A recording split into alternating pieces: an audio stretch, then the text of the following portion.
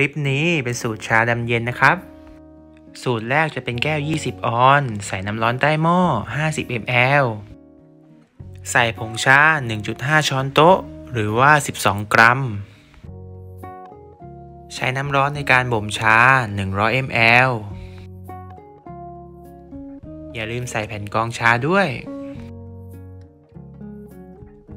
ใช้ไฟกลางหรือว่าเบอร์ 4 ในการต้ม ระหว่างที่รอชาก็ตักน้ำตาลอ้อย2ช้อนโต๊ะพอดีไม่พูน ชาหอมๆมาแล้วจ้า สูตรเฮียจะรินชาใส่แก้วก่อน แล้วค่อยเติมน้ำแข็งทีหลังทีเดียว เฮียว่าสูตรเนี่ยน้ำแข็งอะไรช้าสุด และเสียรสชาติชาน้อยที่สุดนะ เรียบร้อยแล้ว ชาดำเย็น พร้อมเสิร์ฟจ้า แก้วต่อไปจะเป็นสูตรชาดำเย็นแก้ว 16 ออน เราสามารถชงด้วยเฟนเพรสก็ได้ เร็วดี รอบนี้เป็นชาเขียวนะ ใช้ชาเขียว 1.5 ช้อนโต๊ะ หรือว่า 12 กรัมเหมือนเดิม ตามด้วยน้ำร้อน 150 ml สำหรับสูตร 16 ออน ถ้าเราใช้เป็นน้ำตาลอ้อยอะจะใช้ 1.5 ช้อนโต๊ะ แต่ถ้าเราใช้เป็นน้ำผึ้งก็ได้ จะใช้น้ำผึ้งอยู่ที่ 40 ml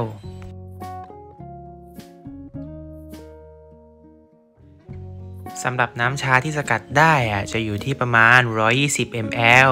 เพราะว่าตัวชาเขามีความแห้ง เขาจะดูดน้ำลงไปนิดหน่อย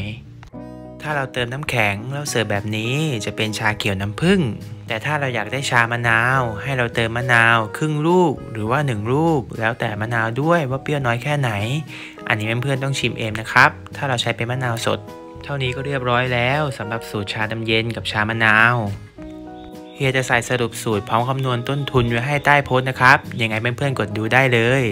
สวัสดี